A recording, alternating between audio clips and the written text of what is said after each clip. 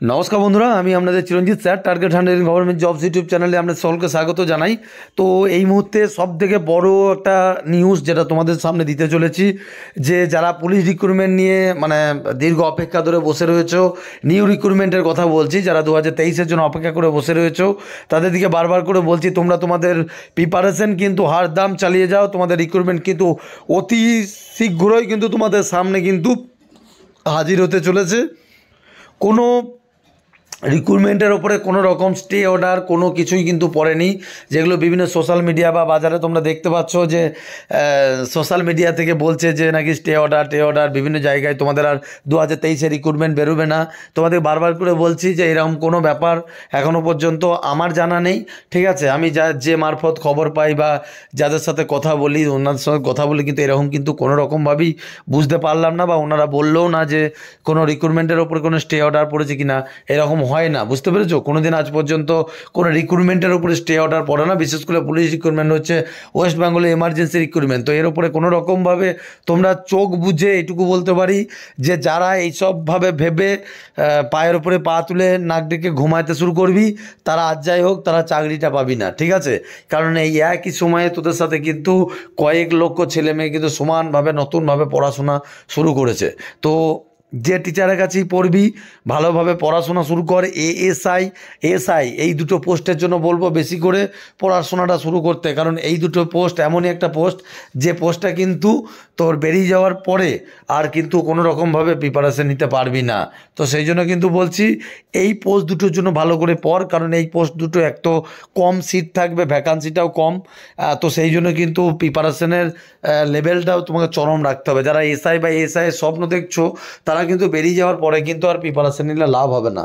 তো বারবার করে বলছি, যারা আমার ওপরে বিশ্বাস রয়েছে তাদের দিকে বলব, আমাদের যে নতুন ব্যাচ তোমাদের জন্য শুরু করেছি অলরেডি দুটো তিনটে ব্যাচ চলছে, আবার একটা নতুন ব্যাচ যেটা শুরু করছি, সেই ব্যাচটাতে কিন্তু তোমরা ঢুকে যাও, ঠিক আছে? আমি আবারও বলছি, তিন দিনে বাহাত্তর ঘণ্টার মধ্যে নতুন ব্যাচ একটা লঞ্চ করছি, ওটায় ঢুকে যাও। তো সেটা তোমাদের ব্যাপার বা যে কোনো টিচার কোনো টিচারই খারাপ নয়। তো যে কোনো টিচার যাদের কাছে পড়ো, তাদের দিকে বলো সাজেস্টিভ নোট দিয়ে এখন পড়তে, কারণ এখন দিনকাল সেরকমভাবেই হয়েছে। চলো দু নম্বর হচ্ছে যারা রেজাল্টের জন্য অপেক্ষা করে বসে আছো যে স্যার আমাদের দু হাজার কুড়ির কনস্টেবলের রেজাল্ট কবে বেরোবে? তোমাদেরকে বারবার করে বলছি, তোমাদের রেজাল্ট কিন্তু খুব শীঘ্রই, এ মাসের মধ্যেই কিন্তু তোমাদের রেজাল্ট কিন্তু দিয়ে দেবে। কবে দিয়ে দেবে, আজকে না, কালকে না, পরশু, সেটা বলা বিরাট মুশকিল। কিন্তু তোমাদের বলতে পারি, তোমাদের তোমাদের রেজাল্ট কিন্তু জাস্ট নভেম্বরের, নভেম্বর মাসটার মধ্যে কিন্তু তোমাদের রেজাল্ট আউট হয়ে যাবে।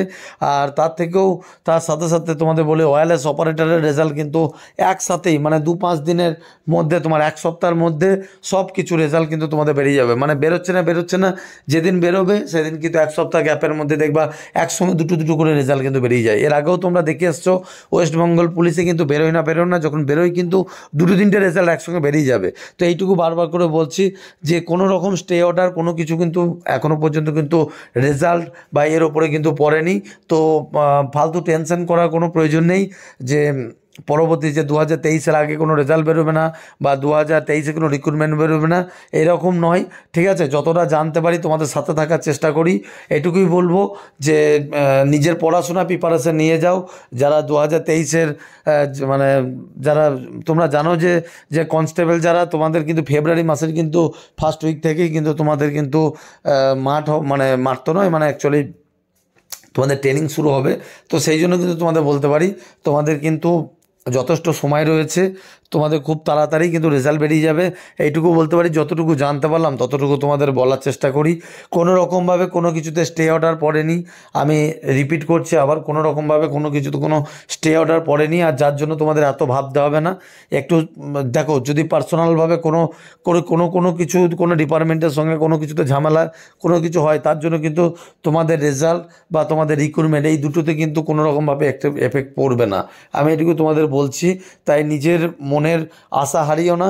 আর সব থেকে বড় জিনিস, ভালোভাবে যারা পড়াশোনা করছ, তারা মন ফ্রি করেই পড়াশোনা শুরু করো। পুনরায় ভালো করে পড়া করো। যারা চিরঞ্জিত স্যারের উপরে ভরসা আছে, তারা চিরঞ্জিত স্যারের সাথে শুরু করো।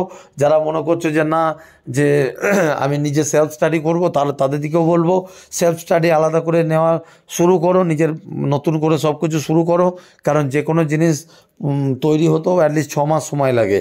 তো তোমাদের হাতে কিন্তু খুব তাড়াতাড়ি কিন্তু দু মাসের মধ্যেই কিন্তু নিউ রিক্রুটমেন্ট বেরোতে চলেছে। তো সেই জন্য কিন্তু বলছি যে তোমাদের কিন্তু শুধু রিক্রুটমেন্টই নয়, আর যারা রেজাল্টের উদ্দেশ্যে বলছি, তোমাদের যে কোনো দিন কিন্তু তোমাদের নভেম্বর মাসের মধ্যে রেজাল্ট বেরিয়ে যাবে। তো সেই জন্য কিন্তু বলছি রেজাল্টের জন্য অপেক্ষা করো একটু। মনে শান্তি রাখো। পরবর্তীতে নভেম্বর মাসে পরবর্তীতে তখন দেখা যাবে। যদি তারপরেও বলছি নভেম্বর মাসের পরবর্তীতে যদি কোনো রকমভাবে রেজাল্ট কোনো রকম আউট না হয়, তাহলে তখন সে তোমার আমাদের যে এর আগেও তোমরা দেখেছ কলকাতা পুলিশ রিক্রুটমেন্টের জন্য আমরা যেগুলো তোমার করেছিলাম ডিজিটালি তো তখন পরবর্তীতে এই বিষয়ে ভাবনা চিন্তা করা যাবে। ঠিক আছে? এই মুহূর্তে তোমাদেরকে বলব, যতটা আপডেট ছিল যে তোমাদের রেজাল্টের ওপরে কোনো রকম স্টে অর্ডার পড়েনি, কোনো কিছু পড়েনি, তো সেইটুকু যতটুকু জানতে পারলাম, তোমাদের সাথে থাকার চেষ্টা করি, যাতে তোমরা একটু মোটিভেট থাকো। একদম মন খারাপ না করে নিজের বাবা মার দিকে তাকিয়ে ভালো করে পড়াশোনা শুরু করো। ঠিক আছে? নতুন করে বাঁচার আশার আলো নিয়ে শুরু করো। আমি সাথে আছি। আর সকলে ভালো থেকো। জয় হিন্দ। বন্দে মাতরম। জয় মা কালী।